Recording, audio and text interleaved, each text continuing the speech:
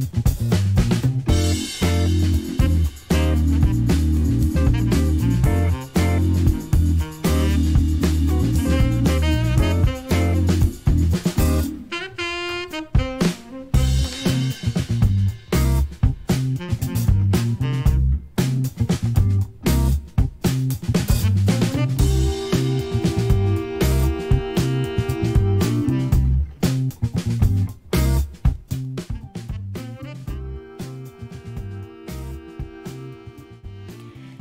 Καλησπέρα.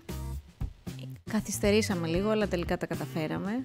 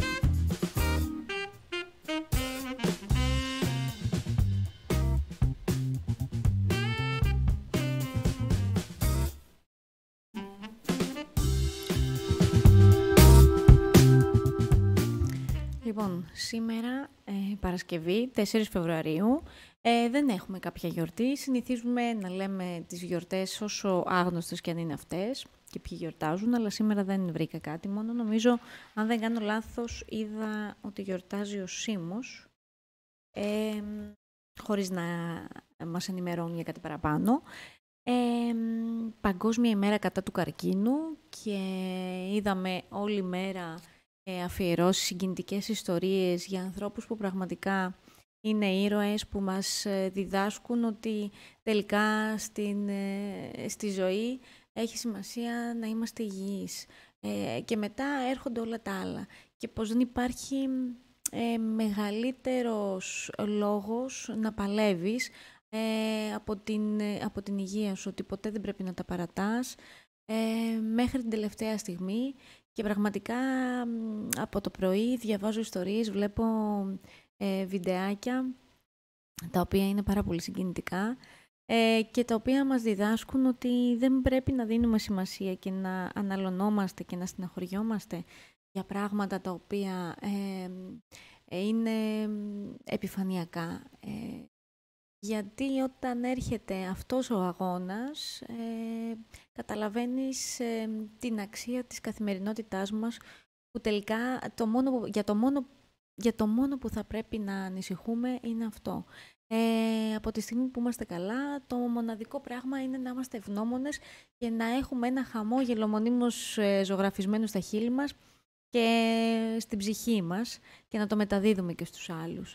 Εδώ βλέπουμε ότι το έχουν άνθρωποι οι οποίοι παλεύουν για το αυτονόητο για μας. Παλεύουν να ξυπνήσουν το πρωί, παλεύουν να σταθούν όρθιοι στα πόδια τους και τα καταφέρνουν.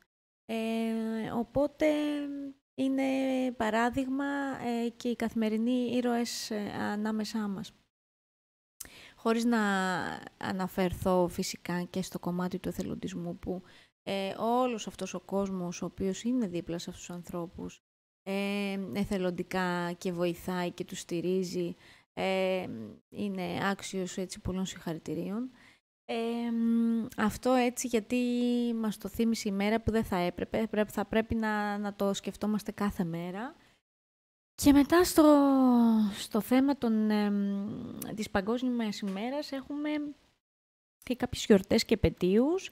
Ε, διαβάζω εδώ ότι στην, ε, στη Σρι Λάνκα σήμερα γιορτάζουν την ε, ε ανεξαρτησία από τη Μεγάλη Βρετανία 4 Φεβρουαρίου του 1948 και είναι επίσης η Εθνική Μέρα Σπιτικής Σούπας στις Ηνωμένες Πολιτείες. Δεν ξέρω αυτοί πώς γιορτάζετε, φτιάχνουν ε, ε, σούπες ε, all day long σήμερα, δεν ξέρω.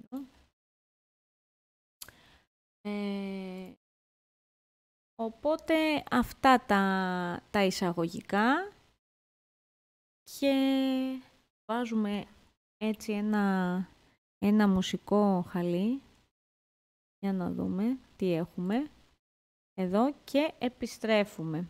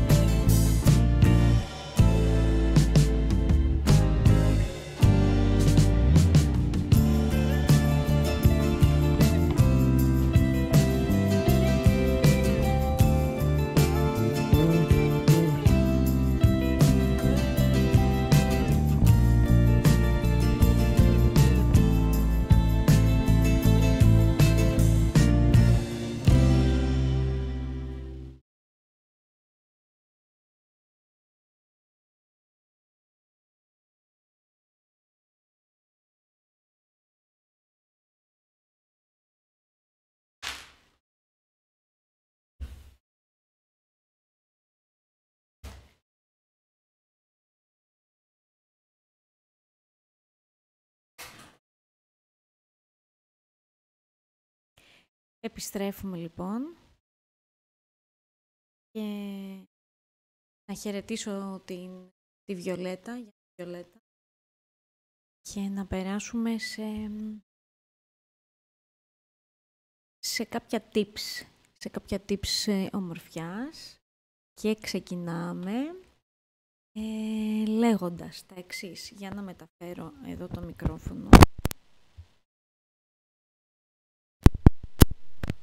Νομίζω τώρα είναι καλύτερα.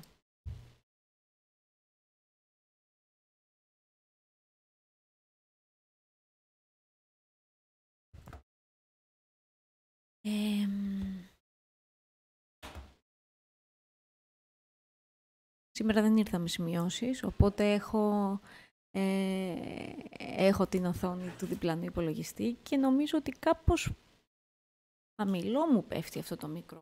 Να δούμε τι ρύθμιση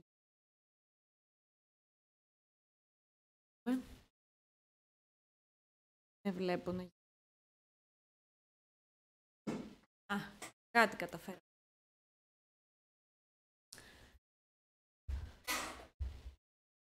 Και έτσι λοιπόν ξεκινάμε ε, με πέντε beauty συνήθειες που πρέπει να αφήσουμε στους ειδικούς. Για να δούμε τι μας λένε εδώ οι ειδικοί.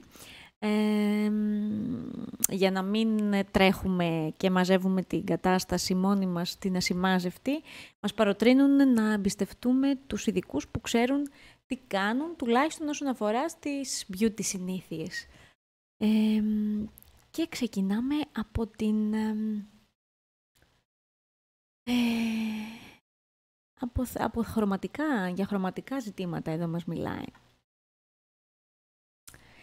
Λέγοντας λοιπόν ότι ε, πόσο, πόσο πολύ μεγάλη σημασία στην εικόνα μας, ε, μάλλον πόση σημασία έχει το να έχουμε ένα λαμπερό και ωραίο χαμόγελο και αυτό πώς το καταφέρνουμε ε, λένε οι ειδικοί με τη λεύκανση. Οδοντόκορε και διαλύματα με λευκαντικές δράσεις μπορεί να βοηθήσουν σε βάθος χρόνου, αλλά μερικές φορές θέλουν άμεσα αποτελέσματα και επιλέγουμε πιο ισχυρά και πιο δραστικά προϊόντα.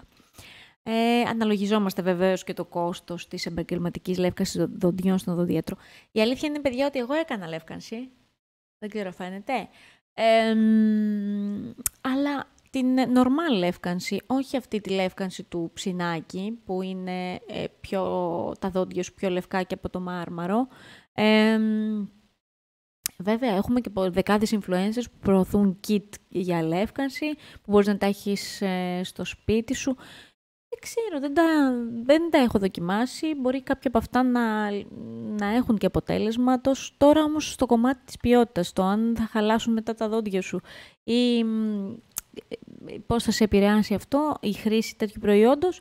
Δεν ξέρω γιατί δεν το έχω δοκιμάσει ποτέ. Έχω κάνει λεύκανση κανονικά στον οδοντίατρο. Ε, λέει, υπόσχονται βέβαια αυτά τα προϊόντα ότι σε χρόνο ρεκόρ ε, μπορείς να φτάσεις ε, το επιθυμητό αυτό αποτέλεσμα, το πολύ λευκό χαμόγελο. Είναι σαν να βουρτσίζει τα δόντια σου με χλωρίνη, ρε παιδιά, δεν ξέρω. Νομίζω ότι αυτό είναι, ρισκάρεις λίγο την υγεία των δοντιών και των ούλων σου και μη σας πω και όλου του στόματος.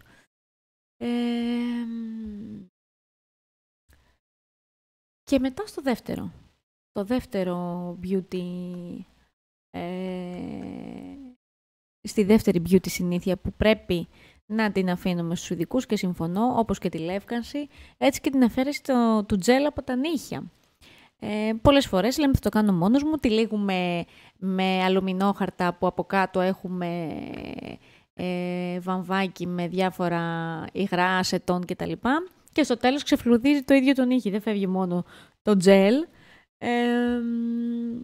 Οπότε υπάρχουν τρόποι για να απομακρύνεις το τζέλ και στο σπίτι, αλλά πρέπει να εξοπλιστείς με ειδικά εργαλεία και φυσικά να ξέρεις τα βήματα που πρέπει να ακολουθήσεις. Οπότε εγώ θα πρότεινα να το αφήσουμε και αυτό στους ειδικούς. Ε, Φυσικά πάμε στο απόλυτο σως, κάτι που και εγώ δεν έκανα και βρέθηκα από αυτό το χρώμα το ξανθό που έχετε.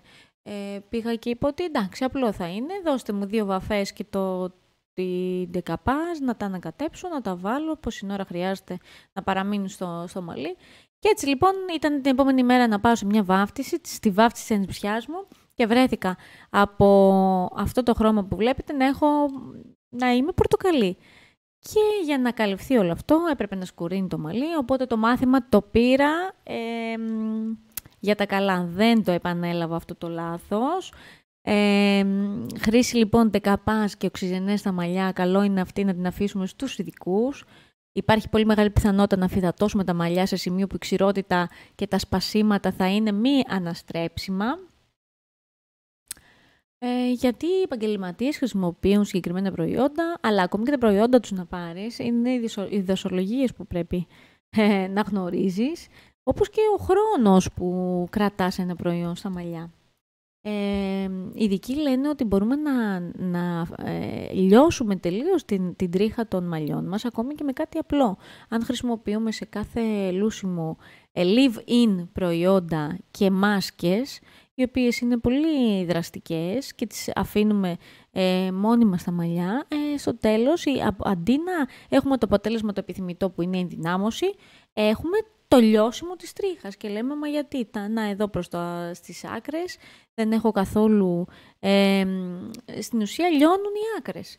Αυτό και αυτό συμβαίνει όταν πάμε για καλό και στο τέλος βγαίνουμε με, με λιωμένα μαλλιά, ας μην, ας μην πούμε κουρεμένες. Ε, α, για να δούμε, το microneedling πρόκειται για μια από τις μεγαλύτερες skincare τάσεις των τελευταίων ετών.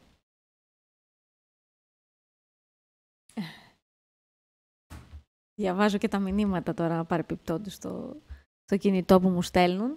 Ε, κατά τη διάρκεια της θεραπείας αυτής, ένα ρόλερ με πολλές μικρές ακίδες χρησιμοποιούνται στην επιφάνεια της επιδερμίδας πάντα σε συνδυασμό με κάποιο υδατικό σέρουμ, ώστε να δημιουργηθούν μικρές πληγές όπου εισχωρεί σε βάθος το προϊόν. Ενώ το, στο εμπόριο κυκλοφορούν συσκευές για το at-home microneedling, φροντίστε να επιλέξετε πολύ προσεκτικά το, το μέγεθος των ακίδων. Ε, όσο μεγαλύτερε είναι, τόσο μεγαλύτερο το ρίσκο τραυματισμών και των ανοιχτών πόρων και, τον, και, και φυσικά δημιουργία πηγών μόλυνσης ε, στο δέρμα. Ας αφήσουμε λοιπόν και αυτές τις περίπλοκες μεθόδους τους ειδικούς. Έτσι δεν χρειάζεται microneedling στο σπίτι. Για να βγούμε scarface μετά. Ε, πάμε τώρα. Ισιωτικές και χημικά. Το έχω κάνει και αυτό. Ε, με αποτέλεσμα με το που κάνω λοιπόν την ισχυωτική αυτή την κερατίνη ε, και μου αρέσει πάρα πολύ και είναι φοβερό το αποτέλεσμα και μεταξωτό το μαλλί. Ε, δεν, ε, πολλές φορές δεν ξέρεις τα βήματα που πρόκειται να ακολουθήσεις τι αποτέλεσμα θα έχουν. Και σας λέω ένα παράδειγμα, με το που κάναμε λοιπόν την ισιωτική, πήγαμε διακοπές, βουτήξαμε στη θάλασσα με το υλικό αυτό το τέλος πάντων της ε, κερατίνης πάνω στα μαλλιά, το οποίο είναι λιβίν. Ε, Παρ' όλα αυτά όμως δεν έπρεπε να έρθει άμεσα σε επαφή με ήλιο θάλασσα, ε, με αποτέλεσμα όταν ε, κάνεις το μπάνιο, το πρώτο μπάνιο, να δεις ένα μαλλί φωλιά και να λες, μα γιατί αφού εγώ έκανα αισιωτική. Και όμως, παιδιά, δεν γίνεται αυτό το βήμα να ακολουθείτε από βουτιές στη θάλασσα και ήλιο κατευθείαν, αμέσως δηλαδή, θέλει να περάσουν, ξέρω εγώ, δύο εβδομάδες.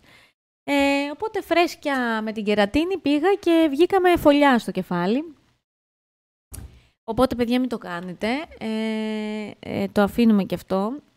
Και δεν ξέρω και κατά πόσον επιτρέπεται πια, γιατί υπήρχε μία μόδα που έλεγε ότι και η κερατίνη δεν βλάπτει, ότι είναι το αντίθετο τροφή για την τρίχα κτλ.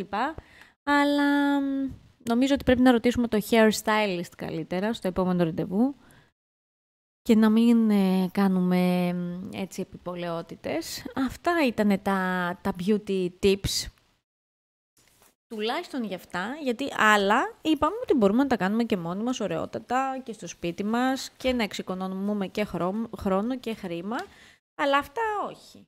Λεύκανση, ε, χημικά, ντεκαπάζ, ισιωτικές, microneedling, εντάξει μην είμαστε υπερβολικοί, ας τα αφήσουμε στους ειδικούς.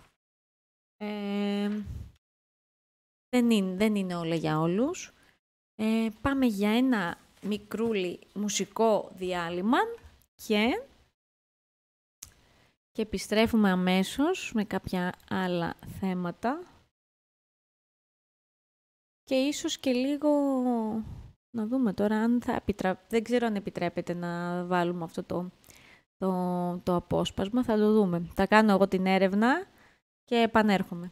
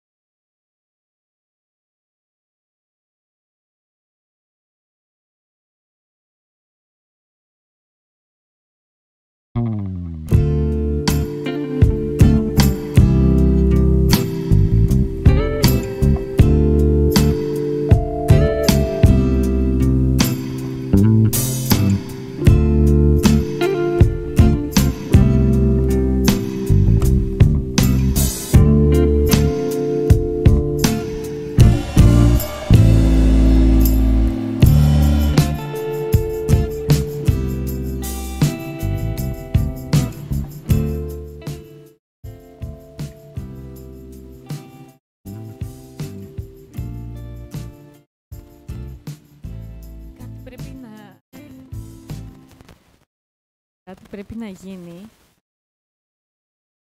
Ένα live chat. Ταυτόχρονα πλάτη. Πώς; Ακόμη δεν το έχουμε εξελίξει.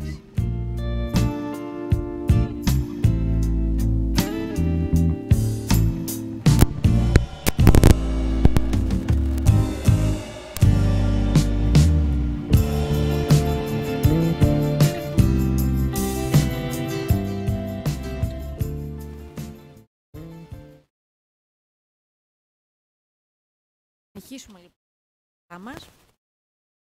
Στην... Ε, να πούμε γεια στην Ελεονόρα, γεια σου Ελεονόρα, γεια σου Χριστίνα, γεια σου Ξανθούλα, γεια σου Βιολέτα, όλα τα παιδιά που μου ε, έχουμε και θα έχουμε θέματα παραγγελίες. Γιατί δεν ακούγεται, ε, γιατί κάτι δεν έχουμε πατήσει πολύ καλά. Να, τώρα νομίζω ακούγομαι. Ε, δεν ξέρω τώρα τα, οι αφιερώσεις αν ακούστηκαν. Ε, λοιπόν, ξαναλέω. Γεια σου Βιολέτα, γεια σου Ξανθούλα, γεια σου Λεωνόρα και Χριστίνα. Πολλά φιλιά. Θα έχουμε θέματα παραγγελίες από εδώ και μπρος. Αλλά για να ολοκληρώσουμε σήμερα την εκπομπή και αυτά που έχουμε σκεφτεί να πούμε, ένα άλλο κομμάτι που έχει να κάνει με τη μόδα, αφού είπαμε για την ομορφιά, να πούμε δύο πράγματα για τη μόδα και μετά να κλείσουμε με, με κομμάτια ευζήν, έτσι όπως κάνουμε πάντα. και λοιπόν το άλλο σκέλος έχει να κάνει με τα αξεσουάρ ε, στα αξεσουάρ που παίζουν ρόλο στο πολύ σημαντικό στο παιχνίδι του street style. Ε, δεν έχω και εικόνες να σας δείχνω, γιατί πραγματικά εδώ το άρθρο είναι ε, εμπλουτισμένο με πάρα πολύ ωραίες εικόνες. Ε, θα δούμε πώς θα το οργανώσουμε την επόμενη φορά. Ε, και ξεκινάει λοιπόν λέγοντας ότι πρέπει να παραδεχθούμε ότι η δημιουργία ε, μιας σικ εμφάνισης ε, σε χαμηλές θερμοκρατήσεις αποτελεί μια στιλιστική πρόκληση. Το μυστικό κρύβεται στα έξυπνα αξεσουάρ, την ατελείωτη δημιουργικότητα και τα πολλά layers, όπως επιβεβαιώνουν και εμφανίσεις στους δρόμους στην εβδομάδα μόδας της Κοπεχάγης. Ε, ναι, αυτό για τα layers το είχαμε πει και την προηγούμενη εβδομάδα. Ε, ε, ξεκινάνε λοιπόν, εδώ ξεκινάει το άρθρο με ταξί άλλων ε, αναφέροντας αξισουάρ για το κεφάλι. Head pieces, ε, τα οποία είχαν πρωταγωνιστικό ρόλο στα, στα look λοιπόν, που δημιούργησαν. Ε,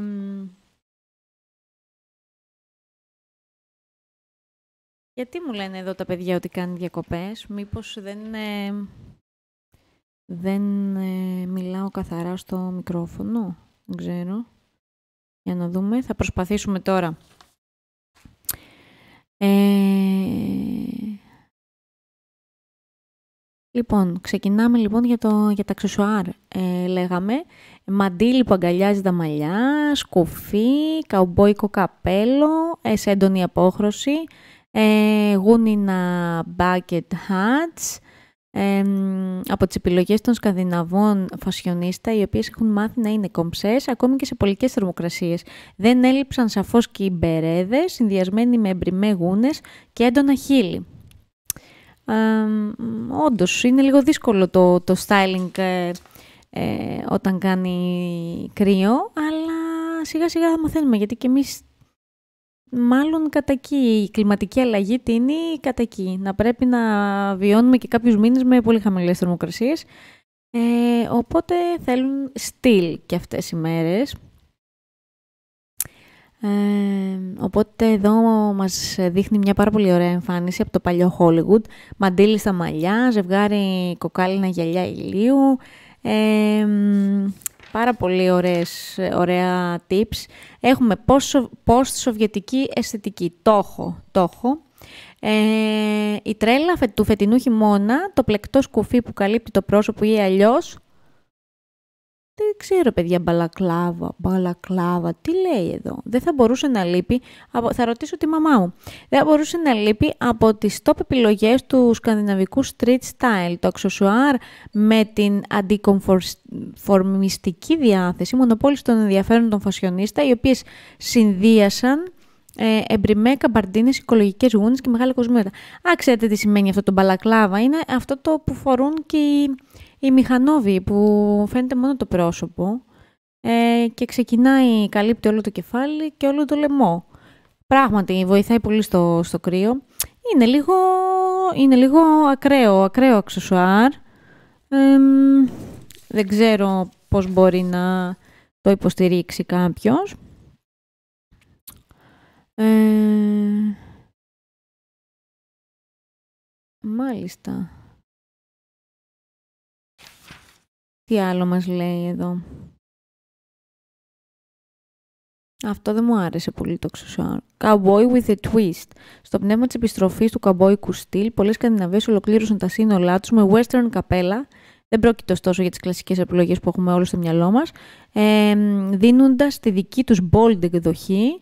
Στην ε, τάση προτίμησαν σχέδια και έντονα χρώματα όπως πορτοκαλί και κόκκινο. Αυτό είναι όντως ωραίο, είναι λίγο τολμηρό, αλλά με τον κατάλληλο συνδυασμό, αν δηλαδή φορέσεις κάτι πιο ήπιο, ε, μπορείς να το υποστηρίξεις. Ε, και μετά έχουμε παριζιάνικο αέρα. Μπορεί το στυλ των Σκανδιναβών να φημίζεται για το χρώμα και τους τολμηρούς συνδυασμούς, ωστόσο είναι γεγονός πως είναι εξίσου ικανές να δημιουργήσουν κολακευτικά κομψά σύνολα κινούμενες στην παλέτα των πιο γήινων και μουντών αποχρώσεων. Ε, το minimal style τους, δια, τους διέπει διέπεται από τους δικούς του κανόνες που και περιλαμβάνει μπερέδες σε πιο υπιούς ή άλλοτε έντονους τόνους, αλλά και πιο μακριά παλτό σε κλασικές γραμμές. Ωραία είναι αυτά και οι μπερέδες και, και τα παλτό. Ωραίες προτάσεις. Ε, και επιστρέφουμε αμέσως με το τελευταίο σκέλος που είπαμε, το Ευζήν. Παράλληλα θα ψάξω και εγώ αυτό το κομμάτι και δεν ξέρω αν θα, το, θα μας το κόψουν ή αν θα επιτραπεί να το παίξουμε λιγάκι, θα το δούμε. Επιστρέφουμε αμέσως.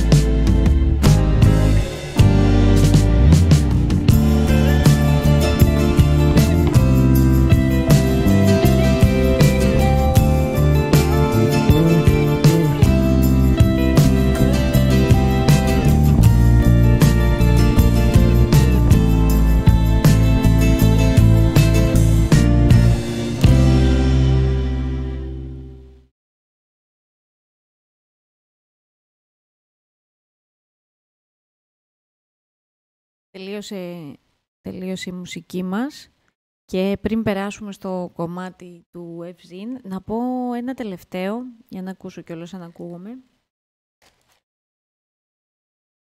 Να πω ένα τελευταίο. Δεν ξέρω αν ε, ακούσατε για την καινούργια ταινία της Τζένιφερ Λόπες, το Mary Me. Ε, είναι η συνεργασία της ε, ε, με τον Μαλούμα. Ε, μας λέει εδώ διάφορες λεπτομέρειες για το τι πρέπει να γνωρίζουμε για την ταινία. Ε, θα βγει στους κινηματογράφους εν ώψη Valentine's, αν δεν κάνω λάθος, στις 11 Φεβρουαρίου. Και θέλω να δοκιμάσω, ε, να δω αν μπορεί να ακουστεί λίγο ένα κομμάτι.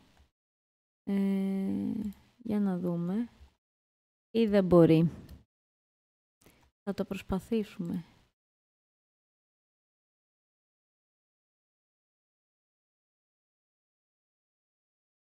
Για να δούμε.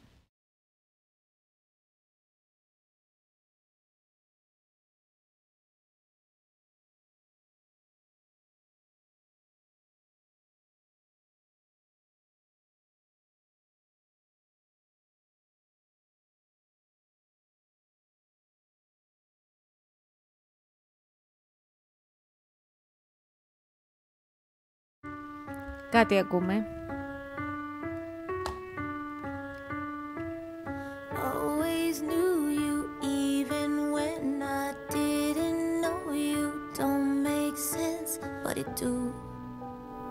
I was on my way to you. Every teardrop fell so heavy, hurt like hell, but heaven sent. On my way, λοιπόν, πήραμε μία γεύση. Ε, έχει και follow-up μετά, μόλις την, ε, τη δούμε.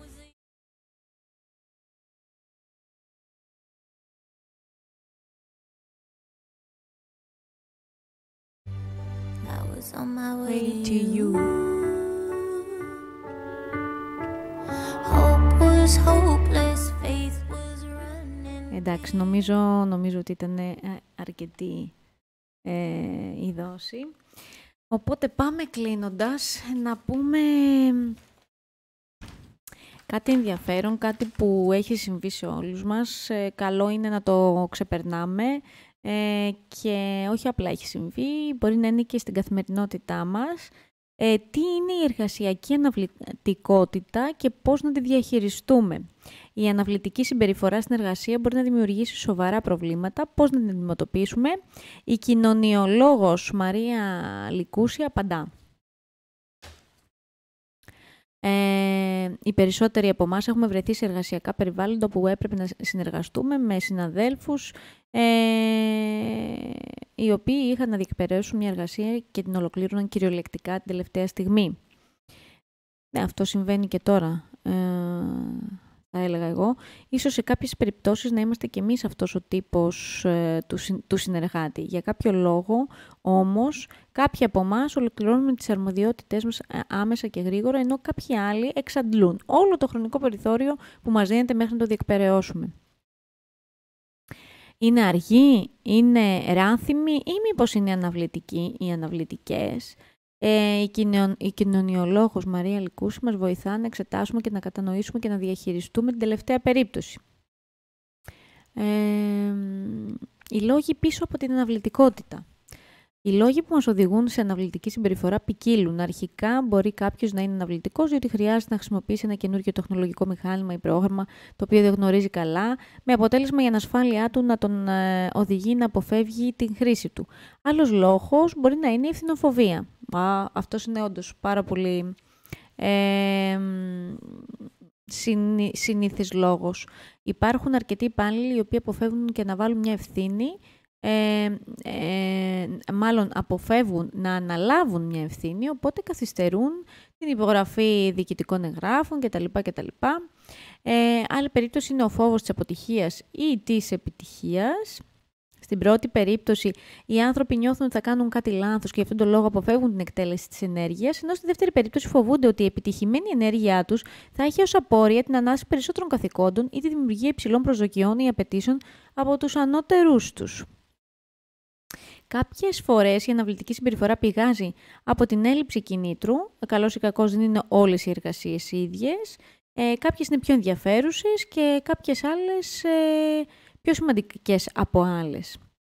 Ε, η τελειομανία είναι επίσης ένας λόγος αναβλητικότητας. Οι τελειομανείς άνθρωποι αναβάλουν τις εργασίες τους ε, ως, έως ότου θεωρούσαν ότι όλα θα γίνουν τέλεια, αλλιώς δεν ολοκληρώνουν μια εργασία εκτός αν αναγκαστούν λόγω deadline. Μάλιστα. Η επιπτώση στην ψυχολογία... Ε, α, και το ένα τελευταίο. Όντως, ένας τελευταίος λόγος εργασιακής αναβλητικότητα είναι ότι κάποιοι άνθρωποι λειτουργούν και αποδίδουν καλύτερα υποποίηση. Η αδρεναλίνη, η οποία δημιουργείται, τους κάνει να είναι σε εγρήγορση ε, και τους οδηγεί σε υψηλές εργασιακές επιδόσεις και επομένως εκπεραιώνουν ε, εσκεμμένα τα καθήκοντά τους τελευταία στιγμή. Είναι λίγο κάπως μαζοχιστικό θα έλεγε κανείς, αλλά όντως είναι ένας λόγος. Η επιπτώση στην ψυχολογία και την εργασία. Η εργασιακή αναβλητικότητα από τη μία πλευρά επηρεάζει την εργασιακή μας απόδοση και παραγωγικότητα και από την άλλη μεριά την εργασιακή μας ψυχολογία και τα δύο επιδρούν μη θετικά στις εργασιακές μας σχέσεις καθώς δεν κερδίζουμε την εμπιστοσύνη και την εκτίμηση των συναδέλφων μας. Ευτυχώς η εργασιακή αναβλητικότητα δεν είναι μία ανίατη ασθένεια. Απέναντία, είναι μία επίκτητη συμπεριφορά την οποία μπορούμε, αν όχι να εξαλείψουμε, σίγουρα να μειώσουμε σε μεγάλο βαθμό. Αυτό μπορεί να επιτευχθεί αν κάνουμε τα εξής. Ακούστε. Για να δούμε.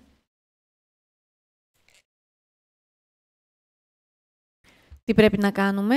Ε, να οργανώσουμε καλύτερα το εργασιακό, μας, το εργασιακό μας πρόγραμμα, ώστε να ολοκληρωθούν οι αρμοδιότητές μας το συντομότερο δυνατόν και όχι την τελευταία στιγμή. Να θέσουμε προτεραιότητες, ποια καθήκοντα είναι επίκοντα και σημαντικά. Να θέσουμε ρεαλιστικούς στόχους. Μάλιστα. Να θέσουμε ρεαλιστικούς στόχους. Ε, αν είμαστε τελειομανείς και δεν μπορούμε να φτάσουμε το τέλειο, τότε ας επιτύχουμε το καλύτερο δυνατό αποτέλεσμα. Να αναζητήσουμε τι είναι αυτό που μας φοβίζει και τι μας κρατάει πίσω. Ο φόβος της επιτυχίας ή της αποτυχίας ή η ανάληψη της ευθύνης. Ε, οπότε πρέπει να ανακαλύψουμε και το εμπόδιο, να καταγράψουμε τα ωφέλη και τα κόστη της εργασιακής μας αναβλητικότητας, έτσι ώστε να αξιολογήσουμε αν μας συμφέρει ή όχι να τη διατηρούμε. Μάλιστα.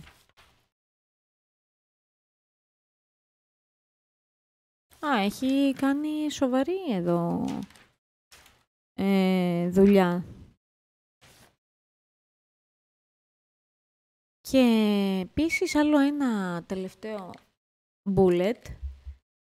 Το πειράζει. Φτιάξουμε μετά το μαλλί ε, λέει να εντοπίσουμε τις αναβλητικές σκέψεις έτσι ώστε να τις ακυρώνουμε. Για παράδειγμα, σε μια αναβλητική σκέψη δεν είναι σημαντικό, θα το κάνω αύριο. Μια καλή απάντηση θα ήταν καλύτερα να το ολοκληρώσω σήμερα έτσι ώστε να μην έχω για αύριο και αν προκύψει κάποιο πρόβλημα να έχω χρόνο να το επιλύσω. Να επιβραβεύσουμε τον εαυτό μας κάθε φορά που δεν αναβάλουμε μια εργασιακή. Να επιβραβεύουμε τον εαυτό μας κάθε φορά που δεν αναβάλουμε μια εργασιακή ενέργεια. Με αυτόν τον τρόπο αφενός θα ψυχώνουμε τον εαυτό μας και αφετέρου θα κινητοποιούμαστε για την επόμενη φορά. Αξίζει να υπογραμμιστεί ότι όπως όλα τα πράγματα έτσι και η εργασιακή αναβλητικότητα είναι ένα νόμισμα με δύο όψεις η μία όψη θετικό πρόσημο, καθώς, έχει θετικό πρόσημο, καθώς μας βοηθά στην αποφυγή λαθών και την, ε, στην λήψη παρομετικών αποφάσεων, ενώ η δεύτερη έχει αρνητικό πρόσημο, καθώς συμβάλλει στην καθυστέρηση ενεργειών με δυσμενείς συνέπειες για εμάς. Η αλήθεια είναι ότι όλοι μας έχουμε υπάρξει αναβλητικοί ε, στο χώρο εργασίας. Το ζητούμενο είναι να αξιολογούμε σε κάθε περίπτωση ξεχωριστά αν η εργασιακή αναβλητικότητα λειτουργεί υπέρ μας ή εις βάρος μας και να πράττουμε αναλόγως. Πολύ σωστά, ας τα αναλογιστούμε και επιστρέφουμε την επόμενη εβδομάδα με ένα θέμα που δεν πρόλαβα να το ε, αναφέρω σήμερα. Ε, μετά ε, να δούμε και κάποιες εξορμήσεις σε διάφορα ωραία έτσι, μικρά σαλέ και κτήματα. Επίσης ένα ενδιαφέρον θέμα και διάφορα άλλα την επόμενη εβδομάδα να είμαστε καλά, να επιστρέψουμε και να τα ξαναπούμε. Νομίζω είπαν ότι θα ανοίξει λίγο ο καιρός, να πάμε και καμιά βόλτα χωρίς όλα αυτά τα, ε, τα στιλιστικά που αναφέρε, στα οποία αναφερθήκαμε. Αλλά εντάξει, και αυτά έχουν την, ε, τη χάρη τους. Φιλιά, καλό βράδυ, καλό Σαββατοκύριακο. Τα ξαναλέμε την επόμενη Παρασκευή. Ε, με 10. Φιλάκια, καληνύχτα.